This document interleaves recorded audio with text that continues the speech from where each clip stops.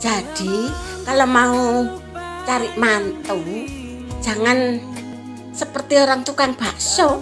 Sorry. Anak saya lima. Puan, Puan, Puan tertawa loh. Sorry.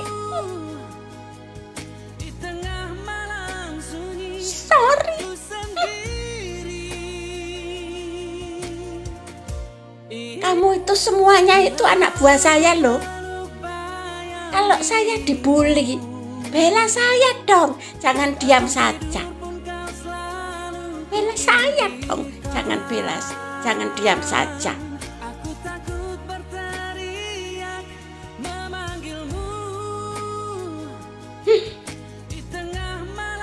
Orang dibully kok didiam saja.